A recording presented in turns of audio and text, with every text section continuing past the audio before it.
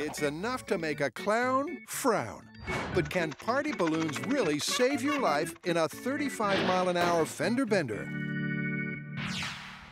To find out, the Mythbusters control car is about to crash land. All right, you ready to drop the clown car? In three, two, one. Woo! I don't think those clowns survived. To the naked eye, the 35 mile an hour head on looks horrific. But survival is all about the G-Load, where anything over 100 means there's been a clown catastrophe.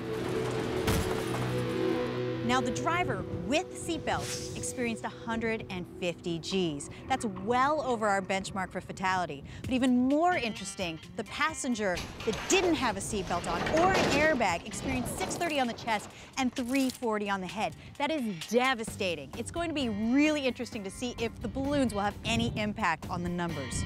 So cue Clown Car 2. Another day, another clown car.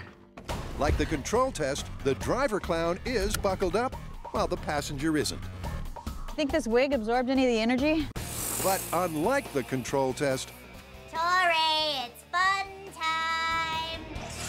Drop 2 will have the mythical balloon barrier. All right, now it's time to put the balloons in the car.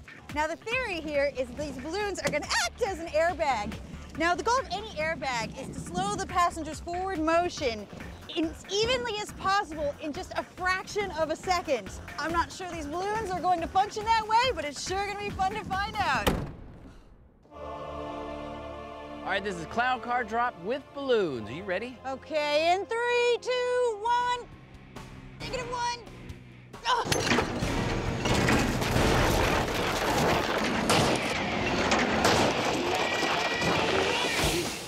Now that is what I call a party. I don't think they survived it though. Once again, the crash was a smash. As the passenger pushed past the balloon barrier and wiped out on the windshield. All right, Dave, the big question on everyone's minds, did the balloon save the clown's life? So in the first drop with no balloons, the passenger saw 340 Gs at the head, 630 Gs at the chest. In the drop with the balloons, the passenger saw 350 Gs to the head and 620 at the chest. So the results are pretty much the same. The balloons didn't do anything for him. Almost no difference at all. Thanks for your help. Come on, I'll show you my balloon animals.